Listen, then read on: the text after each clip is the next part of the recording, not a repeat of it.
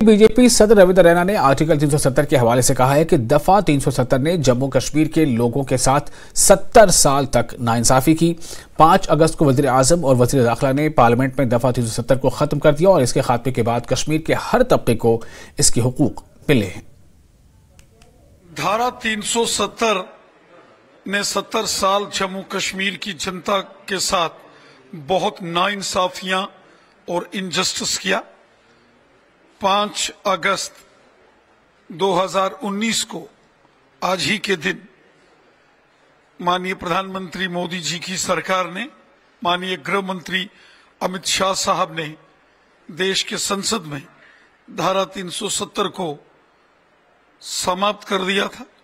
धारा 370 के समापन के बाद जम्मू कश्मीर के हर व्यक्ति को, हर वर्ग को, हर क्षेत्र को उसका हक मिला है। जम्मू कश्मीर, एक भारत श्रेष्ठ भारत के उस संकल्प को परिपूर्ण करता है।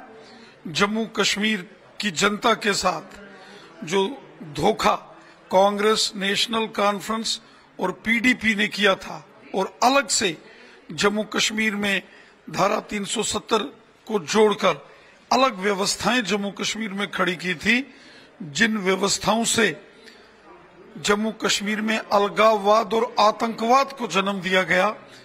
इस धारा को समाप्त करके केंद्र की नरेंद्र मोदी साहब की सरकार ने, माननीय गृह मंत्री अमित शाह साहब ने राष्ट्र हित में बहुत बड़ा निर्णय लिया था और एक भारत श्रेष्ठ भारत के संकल्प को पूर्ण किया।